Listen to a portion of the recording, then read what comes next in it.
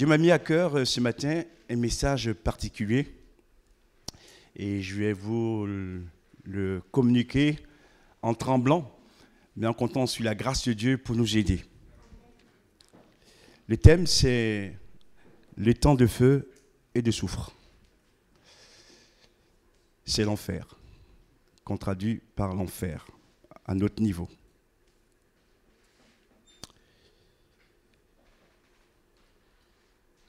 Cela fait déjà plusieurs mois que nous constatons des feux de forêt dans plusieurs départements de notre pays, même au-delà, dans d'autres pays également. Nos valeureux pompiers ont de grandes difficultés à éteindre ces feux. Ils sont consacrés. Ils font de leur possible pour arrêter ces incendies, en mettant même en, péril leur propre vie.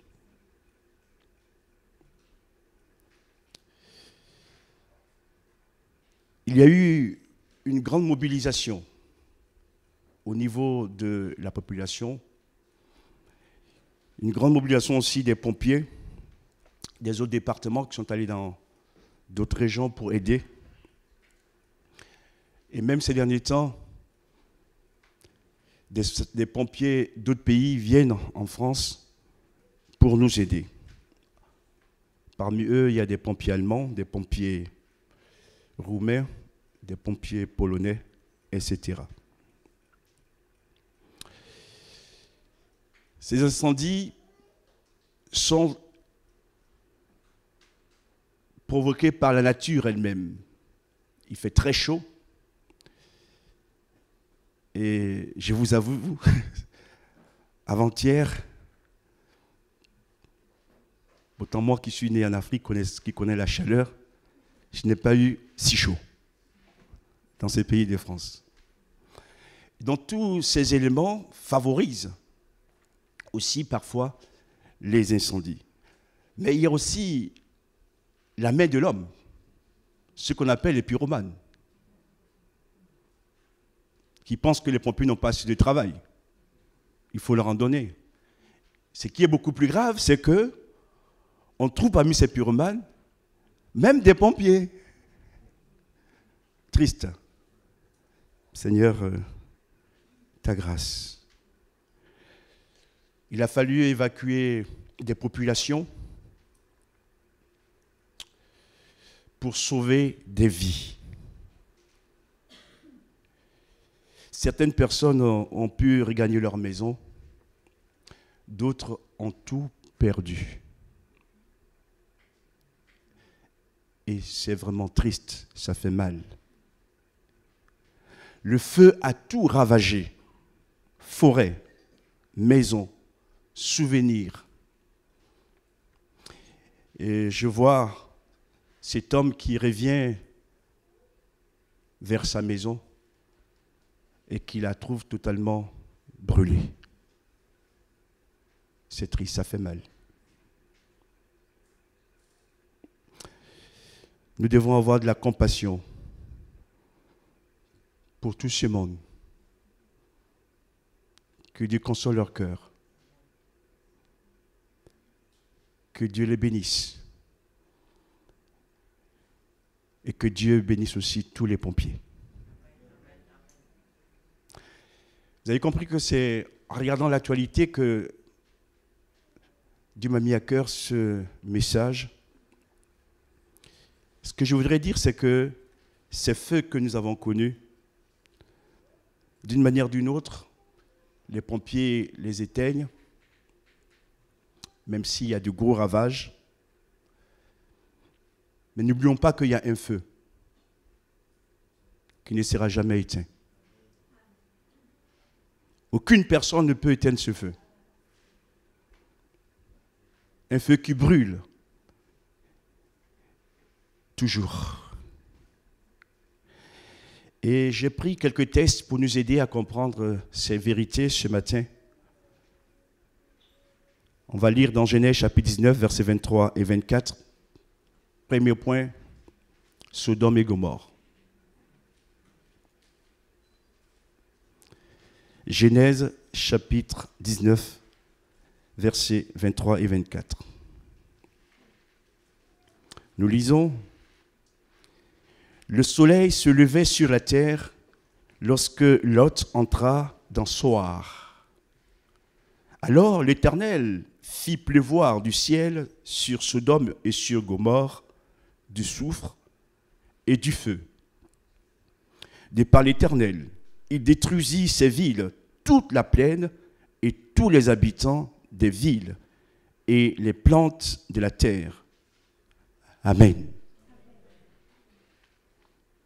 La première fois où on voit intervenir cette expression, feu et le soufre, c'est dans l'histoire de Sodome et Gomorre. Vous connaissez l'histoire, je ne vais pas vous rappeler les détails. Ils avaient changé la nature normale en contre-nature. Il est vrai que Dieu n'est pas celui qui veut la mort du pécheur, il veut qu'il soit sauvé, mais Dieu est farouchement le péché. Et moi-même, euh, j'ai été interpellé. La première fois que Dieu fait souffler son feu et son soufre sur deux villes, c'est deux villes qui ont des pratiques abominables. Abominables. Et toutes ces villes ont été détruites, ravagées. C'est donc aussi pour nous un avertissement à ne pas jouer avec le mal et le péché. Seigneur, aide-nous à comprendre cette vérité. Le feu et le soufre sont descendus, descendus pardon, du ciel. Là, ce n'est pas la nature terrestre qui agit, c'est Dieu lui-même qui intervient. Même les plantes ont été détruites, les animaux, etc. Ceci pour nous faire comprendre une vérité, frères et sœurs. Notre Dieu est un Dieu patient, un Dieu miséricordieux, un Dieu compatissant. Mais quand il prend une décision, il agit aussi. Et je prie, je prie que des villes ne connaissent pas ce qu'a connu Gomorre et Sodome. Intercédons, frères et sœurs, en faveur de ces villes, pour que Dieu, dans sa grâce, sauve encore des âmes, plutôt que de détruire.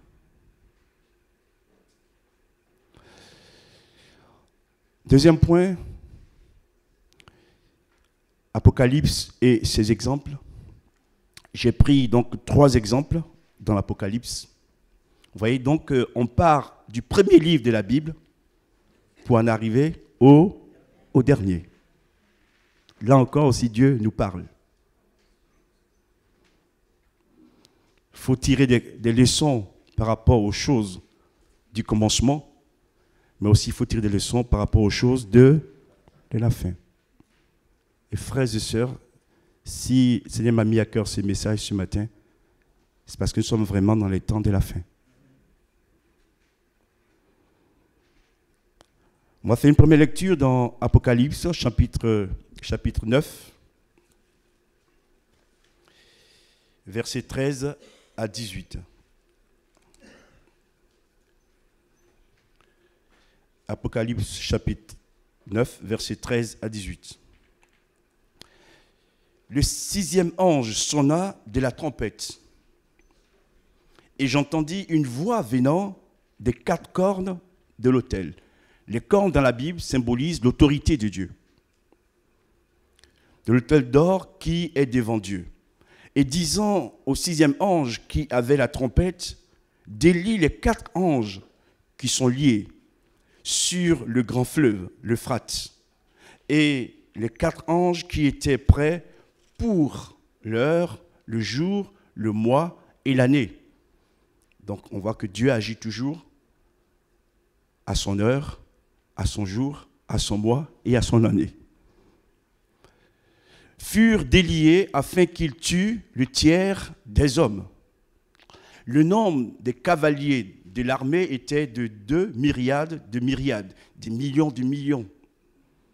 L'armée de l'Éternel. J'en entendis le nombre, et ainsi, dans la vision, je vis les chevaux et ceux qui les montaient ayant des cuirasses couleur de feu, d'hyacinthe et de soufre.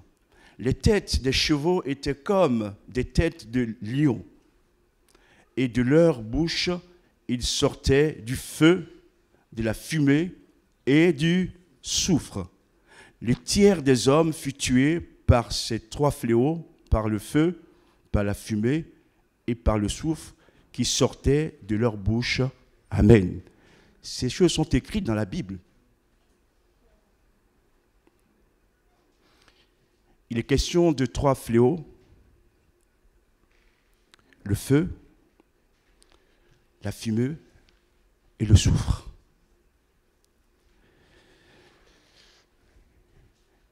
Dieu merci.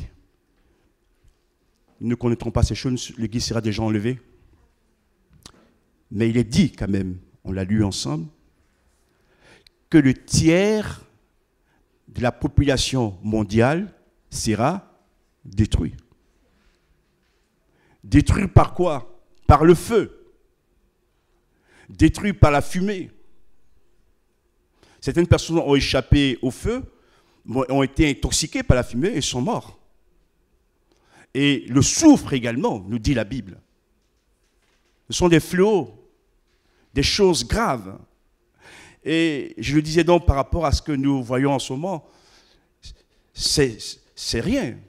Là, il y a vraiment une action puissante de la part de Dieu qui va détruire mais Dieu ne détruit pas pour détruire. Ces hommes et ces femmes ont été avertis d'abord. Mais un jour viendra où les choses vont s'accomplir ainsi. Et je pense aussi, je ne dis pas que Dieu permet les incendies, la preuve c'est que c'est certains hommes qui les allument, hein.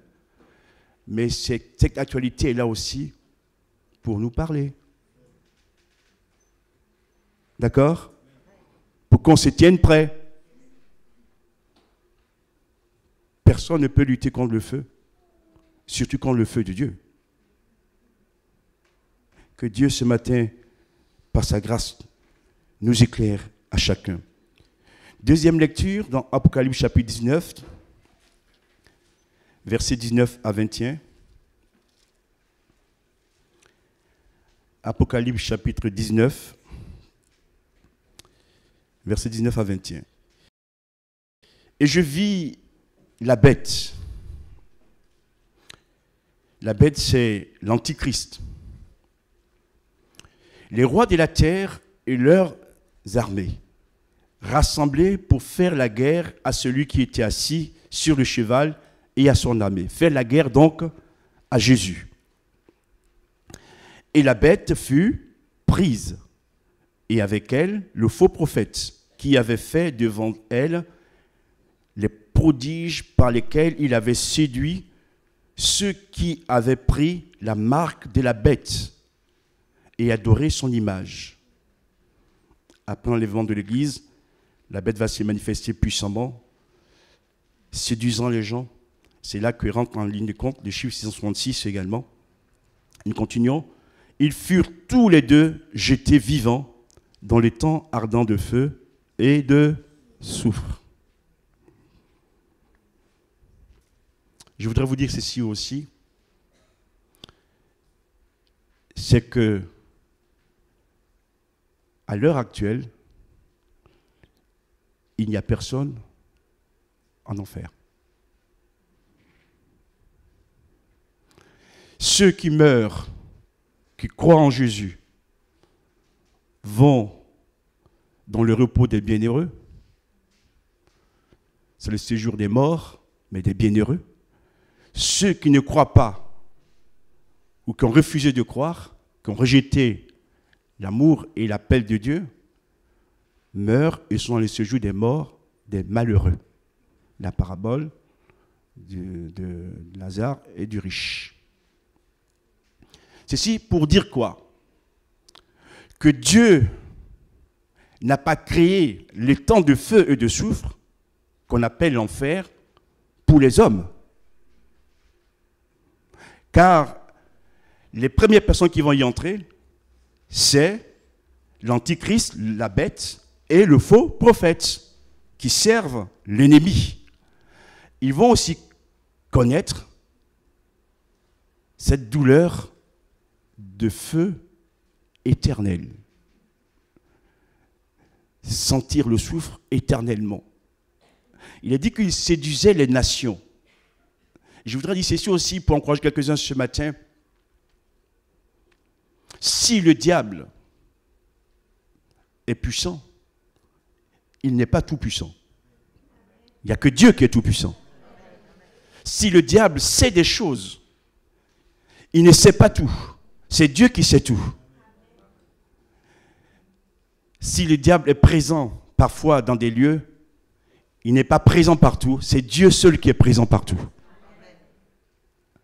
Et un jour, il sera jugé. Ici, entre autres, l'Antichrist et le faux prophète qui vont d'abord juger les premiers. Frères et sœurs, pour vous encourager, ne croyez pas que Dieu laisse tout faire dans ce monde. Dieu est au contrôle. Mais il agit en son temps. Et ceux qui seront jugés seront jugés en leur temps. Le faux prophète et l'antichrist qui séduisaient les nations, un jour Dieu va arrêter leurs mauvaises actions. Et il va les jeter dans le temps de feu et de soufre. C'est un lac finalement hein, qui est fermé, où ils vont souffrir éternellement. Il n'y a plus de possibilité de revenir en arrière. Troisième texte qu'on va lire, Apocalypse chapitre 20, verset 10. Si l'Antichrist et les faux prophètes sont déjà jetés dans le temps de feu de soufre, un jour viendra aussi que leur grand maître sera aussi arrêté. Apocalypse chapitre 20, verset 10. Et le diable qui séduisait les nations fut jeté où? Dans le temps de feu et de soufre. Où sont la bête, l'antichrist, et le faux prophète Ils seront tourmentés jour et nuit au siècle des siècles.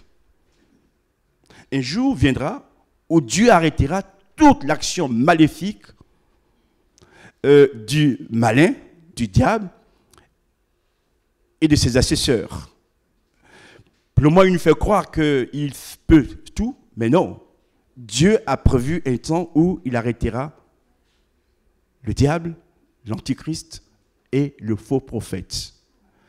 Mais vous voyez, ils vont brûler dans le feu éternel de Dieu. Et les textes disent au siècle des siècles. Il est parlé aussi, on va maintenant conclure, on va conclure, on va lire dans Apocalypse chapitre, 21, euh, Apocalypse chapitre, chapitre 21, verset 8. Apocalypse, conclusion, on va terminer là, j'aurai des choses à dire aussi. Chapitre 21, verset 8. Nous lisons, mais pour les lâches, ceux qui n'ont jamais voulu prendre position, qui restent entre deux, deux eaux ou deux chaises. Nos amis suisses disent qu'ils sont toujours neutres. Il ne faut pas les imiter dans les choses de Dieu. Il faut prendre position. Mais pour les lâches, les incrédules, les abominables, le mot est fort, hein? les criminels ou les assassins,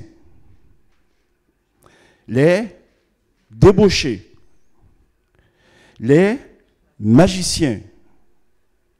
On met les médiums et tout, la gamme qui suit. Les idolâtres, ceux qui mettent à la place de Dieu leur propre idole. Et tous les menteurs, leur part, c'est-à-dire leur sort, sera dans le temps de feu, ou plutôt même ici, le temps ardent de feu et de souffle, ce qui est la seconde mort. Je voudrais d'abord vous rassurer. Si on est lâche et qu'on se répand, Dieu nous pardonne. Si on a été assassin et qu'on demande pardon, Dieu nous fait grâce. Voilà. Ce n'est pas une condamnation euh, définitive. Tant qu'on est vivant et si on est dans une de ses fautes, on peut encore se repentir. Gloire à Dieu et Dieu fait grâce. On a prié pour les festers dans ce sens. Parce que Dieu ne veut pas la mort des hommes. Comme je le dis, d'ailleurs, les premières personnes qui rentrent dans le temps de feu de souffle, c'est le faux prophète, l'antichrist et euh, le diable lui-même. Après, d'autres hommes vont suivre, mais qui ont refusé Dieu. Mais en attendant, Dieu nous permet de prêcher l'évangile, qui est la bonne nouvelle, pour que les hommes entendent le message d'amour de Dieu et se tournent vers lui. Donc, tant qu'on est vivant, il y a encore une possibilité de changement, de revenir à Dieu. Et ce sont ces personnes qui pratiquent le péché, qui attendent la voix de Dieu et qui ne veulent pas changer. Voilà ce qu'il en est. Donc ça vous rassure. Euh, et puis si vous, êtes, euh, vous avez menti quelquefois, euh, demandez pardon et arrêtez de mentir. Voilà. Gloire à Dieu. Parce que le père du mensonge, c'est le diable. Alors que Jésus est la vérité. que Dieu nous fasse grâce. Et il est dit, c'est qui est la seconde mort. Là aussi, il y a tout un enseignement, une prédication à faire là-dessus, mais ce n'est pas le lieu ce matin. J'en parlerai une autre fois. Qu'est-ce que la seconde mort? La seconde mort, c'est la mort éternelle. C'est la mort éternelle. C'est la mort spirituelle éternelle. On est séparé définitivement de Dieu. Il n'y a plus d'occasion de revenir. Quand Adam et Ève ont péché dans le jardin d'Éden, ils ont connu une mort. Laquelle? Fort la mort spirituelle. La mort spirituelle. Parce qu'ils sont en vie. Nous sommes dans ces temps où il y a des morts spirituelles. Mais s'ils demandent pardon à Dieu, Dieu éclaire leur esprit. Et viennent alors dans la grâce et découvrent Jésus. Mais il y aura un temps où il n'y aura plus cette possibilité. Donc pour ces personnes, il n'y a plus de possibilité de repentance et ils rentrent dans la mort éternelle. Donc, ces personnes vont aller aussi dans le temps de feu et de soufre, qu'on appelle l'enfer. Vous m'avez bien compris, frères et sœurs.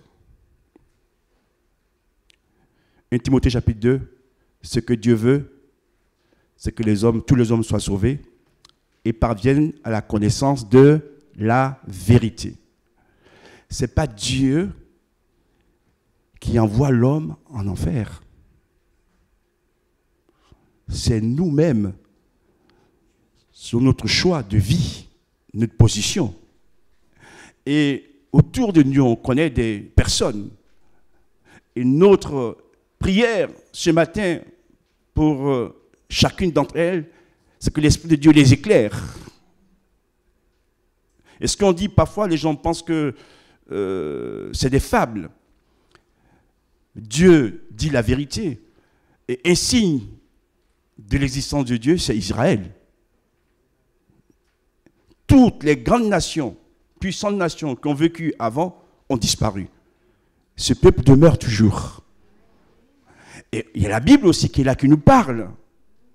Et je voudrais aussi vous encourager en vous disant ceci, frères et sœurs, vous qui avez fait le choix de Dieu, malgré les luttes, les larmes, les problèmes, les souffrances, vous avez fait le bon choix. Et lieu d'aller dans le temps de feu de souffle, vous irez dans le paradis de Dieu. Et Jésus revient bientôt, où nous serons avec lui. Que sa grâce nous aide. Ce n'est pas le feu qui va nous consumer. Ce n'est pas la fumée qui va nous euh, empoisonner. Euh, et ce n'est pas le souffle non plus qui va nous euh, créer des problèmes de respiration. L'Esprit de Dieu vient souffler dans nos vies. Ce matin, Seigneur, fais-nous grâce te dire merci d'avoir, nous avoir choisis et nous voulons marcher sur tes traces jusqu'à ton retour. Et que l'Église se tienne toujours prête pour te célébrer aussi te servir dans le nom puissant de Jésus. Amen. Seigneur, merci pour ta parole. Merci pour ce que tu m'as mis dans le cœur, pour ton peuple ce matin. Je sais que si toi tu ne viennes agir, éclairer les cœurs, rien ne peut se faire. C'est pourquoi je te prie, Seigneur, de nous aider à prendre conscience de cette réalité du paradis, mais aussi de l'enfer. D'être des hommes et des femmes qui intercédons pour les perdus. Seigneur, ce matin, oui, viens souffler sur nos vies. Malgré nos combats, nos luttes, nos souffrances, nous voulons te dire merci de nous avoir mis au large. Seigneur, pour ta lumière qui brille encore. Et ce matin, j'ai à cœur particulièrement toutes ces personnes, tous ces jeunes qui sont séduits par le malin. Je prends autorité en ton nom, je brise l'action du malin dans leur vie. Que ces âmes viennent à toi ou reviennent à toi au nom de Jésus. Nous les voulons avec nous dans le paradis de Dieu. Seigneur, oh, sois loué, sois adoré. Merci pour ta victoire. Amen.